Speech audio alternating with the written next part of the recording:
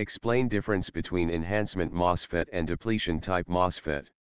In enhancement MOSFET channel is not initially exists but in depletion MOSFET channel is already exists. In case of depletion MOSFET if the voltage is applied between drain and source the drain current will flow even at VGS equals 0. But in case of enhancement MOSFET, there is need to induce a channel for current to flow.